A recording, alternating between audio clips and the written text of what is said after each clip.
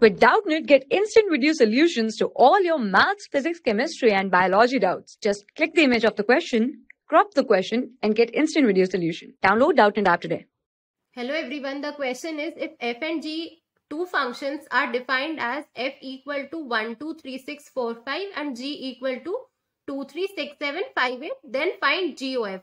So we are defined here two functions f and g and we need to find GOF that is composition of the function. So here I can observe that the domain of f because here GOF so we need to find domain of f here. So domain of f will be equal to first term of each of the bracket. So that will be equal to 1 comma 3 comma 4. Okay now I need to find GOF. So G of fx I can write. Okay so we need to find this and that will be equal to GOF. So first of all, we will put all the values of f and find corresponding value of g of f. So g of f of 1, first of all, we will take because in domain I have 1. Okay, so f of 1 is how much? 2. So I can write g of 2. Okay, and g of 2 I can see, see, for g of 2 I have the value 3. So this will be 3. Similarly, we will find g of f of 3.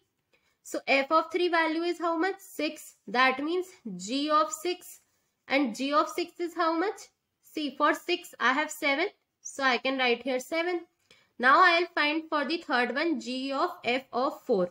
So f of 4 is 5. That means g of 5 and g of 5 is 8. So 8. So what I can write finally? That g GOF equal to if I write in terms of ordered pair. So input was 1 and output was 3. Here input was 3, so output 7. And when input is 4, so output will be 8. So this will be my final answer for GOF. Thank you. For class 6 to 12, IIT JEE and NEET level. Trusted by more than 5 crore students. Download Doubtnut app today.